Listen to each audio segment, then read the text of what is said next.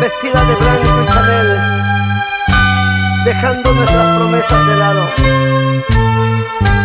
No, no me eches la culpa de este fracaso de amor.